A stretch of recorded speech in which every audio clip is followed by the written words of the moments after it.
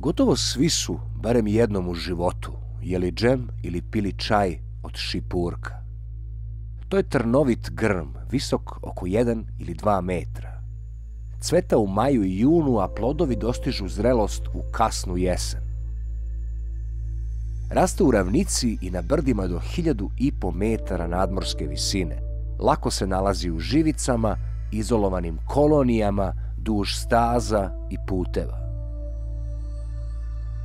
Pupoljak šipurka reguliše imunološki odgovor organizma, tako da preparat efikasno deluje protiv svih oblika alergije, a posebno u slučaju alergijskog rinitisa, konjuktivitisa i alergijske astme, kako kod odraslih, tako i kod dece.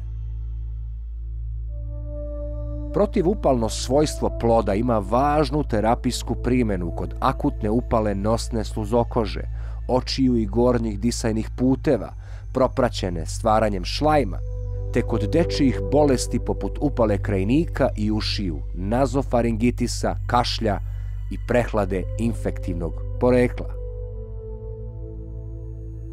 Plodovi šipurka su najbogatiji prirodni izvor vitamina C.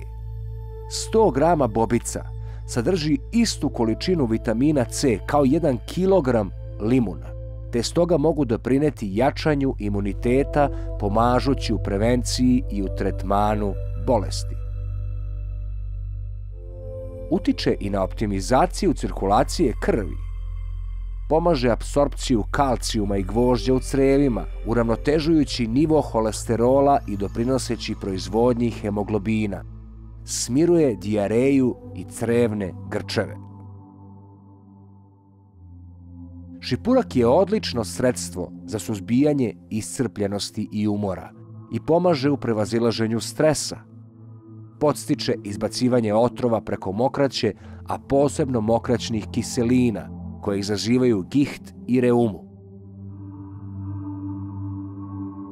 Postoji više farmakoloških studija na zdravim volonterima i pacijentima o uticaju galaktolipida, GOPO, sadržanog u prahu ploda šipurka na osteoartritis. Utvrđeno je da smanjuje bol i povećava pokretljivost kolena, kuka i zglobova ruku, kao i da se smanjuje bol u donjem delu leđa.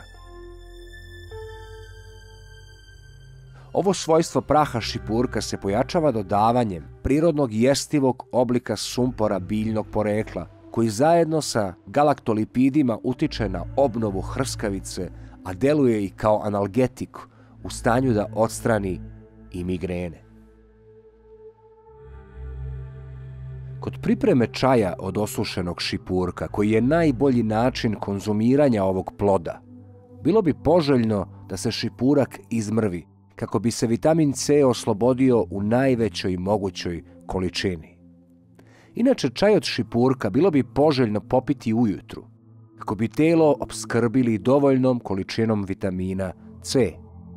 Treba voditi računa da šipurak koji se kuva u vodi ne proključa, jer se tako ubrzano troše dragoceni sastojci ovog neverovatnog napitka. Bilo bi naravno dobro popiti ga bez dodavanja šećera ili eventualno sa malo svežega meda. Uzdravlje!